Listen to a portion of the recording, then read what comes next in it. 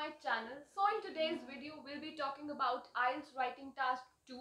wherein you're given an essay and 40 minutes to complete it.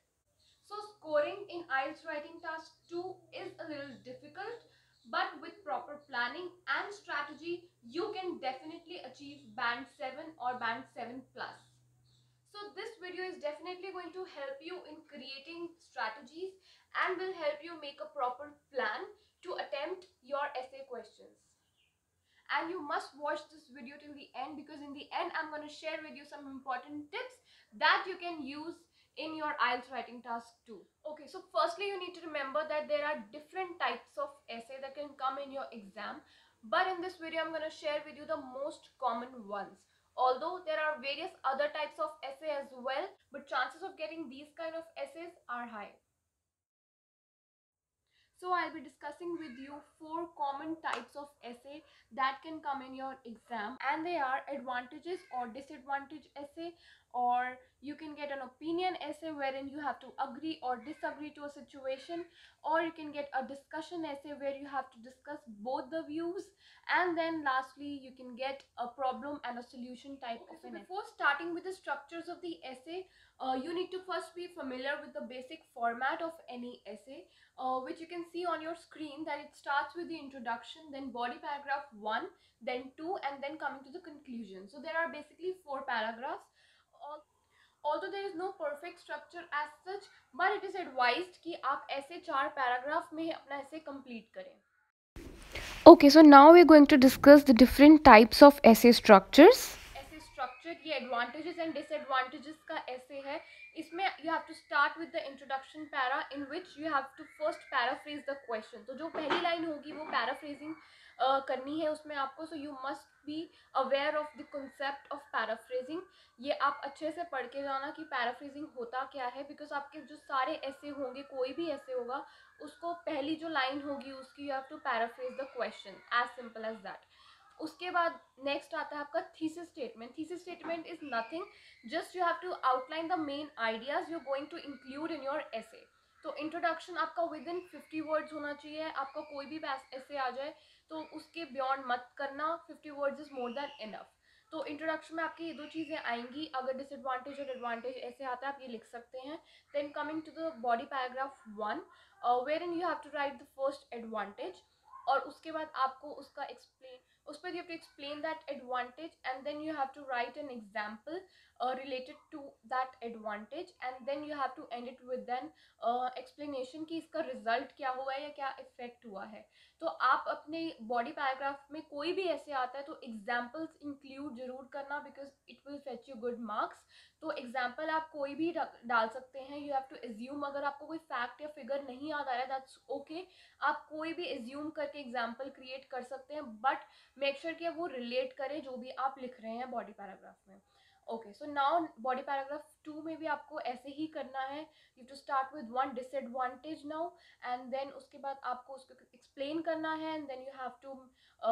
you know you have to exam write an example and then आपको उसका effect या result बताना है। Then coming to the conclusion part इसमें आपको just you have to sum up the main points that you have mention in your body paragraph and you have to end it recommendation जो बहुत ही अच्छा you know effect देता है आपके ऐसे को। Um, तो इसलिए आप एंडिंग और स्टार्टिंग में फोकस में फोकस बहुत अच्छा ज़्यादा रखना। कोई आप अपनी एंडिंग को कोई रिकमेंडेशन या कोई सोल्यूशन से एंड करेंगे तो बहुत अच्छा इम्पैक्ट पड़ता है। About the next essay structure जो आप देख सकते हैं अग्री एंड डिसअग्री है ओपिनियन ऐसे होते हैं जिसमें आपको या तो अग्री करना होता है डिसअग्री करना होता है। ये थोड़े से कॉम्प्लिकेटेड होते हैं बट कन्फ्यूज़ मत होना आप क्लियर रहना कि आपको अग्री करना है डिसअग्री करना है। स्टार्टिंग विद द इंट्रोडक्शन आपको इसमें पहले तो पैराफ्रेज द क्वेश्चन उसके बाद आपको थीसिस स्टेटमेंट लिखने से पहले you have to state your opinion कि आप अग्री कर रहे हैं डिसअग्री कर रहे हैं that should be within one और टू लाइन इससे ज़्यादा मत लिखना इंट्रोडक्शन में। उसके बाद आप थीसिस स्टेटमेंट लिखेंगे you have to state your you know outline the main ideas that you are going to put in your body paragraph and that's it उसके बाद आते हैं बॉडी पैराग्राफ वन में आप देख सकते हैं, इसमें सबसे पहले आपको स्टार्ट करना है by writing the topic sentence जिसमें आप मेन लिखेंगे आपका जो अग्री कर रहे हैं उसका क्या बेसिस होंगे। तो पहला सेंटेंस वो लिखना है and then you have to write explain that topic sentence and then end it with an example वैसे ही आपको बॉडी पैराग्राफ टू में करना है and then coming to the conclusion you have to basically sum up your main ideas in the conclusion and then अपना opinion देना दोबारा and then end it with recommendation okay so moving forward now we have a different essay structure जो आप discussion essays में use कर सकते हो. तो डिस्कशन ऐसे में basically you have to discuss both the views ये ध्यान रखना सिर्फ़ एक व्यू पॉइंट आपको डिस्कस नहीं करना है. जो क्वेश्चन में दो व्यू पॉइंट्स दिए, आप दोनों को आपको डिटेल में डिस्कस करना है. So you have to start with the paraphrasing the question and then इसमें आपको पहले तो पैराफ्रेज uh, करने के बाद you have to state both the views उसके बाद आपको देना है अपना व्यू पॉइंट एंड देन उसके बाद आपको you have to just outline the main ideas जो आप अपने पैराग्राफ्स में इंक्लूड um, करेंगे. तो आपको ये इंट्रोडक्शन भी विद इन फिफ्टी वर्ड्स कर लेना और मैक्सिमम सिक्सटी इससे ज़्यादा मत करना. Okay so now body paragraph one इसमें आपको सबसे पहले तो you have to state the first view point उसको आपको एक्सप्लेन करना है and then you have to give an example to justify जो आपने व्यू पॉइंट दिया है।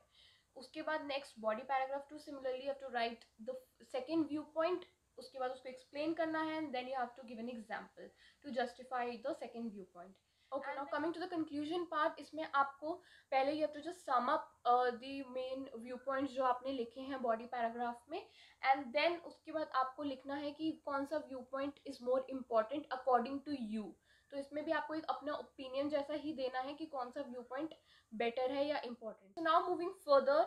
there are problem and solution types of essay जिसमें आप क्लियर होते हैं, आपको एक पैरा में प्रॉब्लम लिखना है, एक में सोल्यूशन देना है। तो ये भी बहुत सॉर्टेड होते हैं एंड इसमें आपको स्टार्ट करना है with the introduction with the paraphrasing the question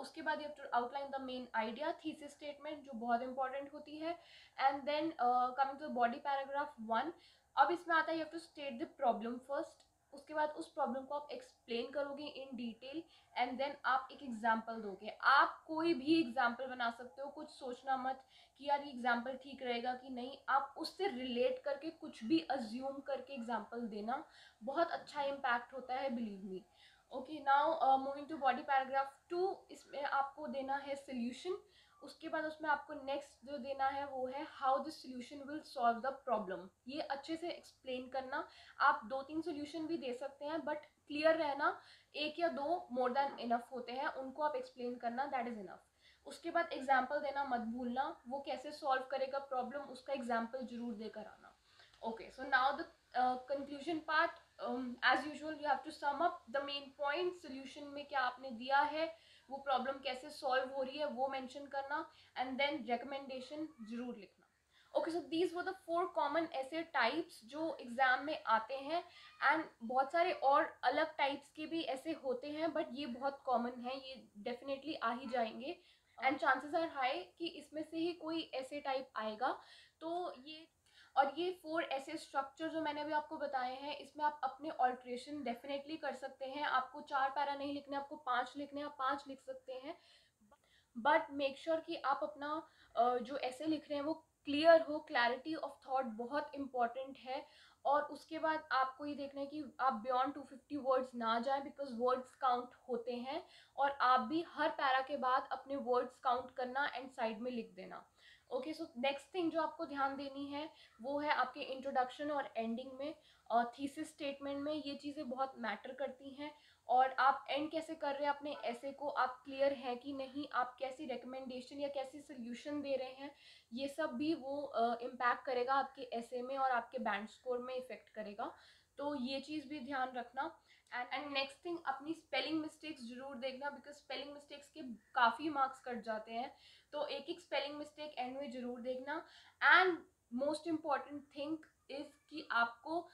ऐसे लिखने से पहले 10 मिनट अपने ज़रूर लेना, उसको प्लान करने के लिए हेडिंग्स लिख लेना साइड में मैप कर लेना, पूरा अपना essay and then start writing सिर्फ़ क्वेश्चन देखते ही ऐसे लिखना मत शुरू कर देना, सबसे बड़ी गलती वही होती है। So make sure your planning before writing your essay so I will definitely make one video जिसमें मैं आपको इंपॉर्टेंट टिप्स एंड ट्रिक्स बताऊँगी IELTS writing task to crack करने के लिए and so stay tune for that and अगर ये आपको वीडियो पसंद आया तो please please like share and subscribe कीजिए। And also you can join me on Instagram I see you in my next video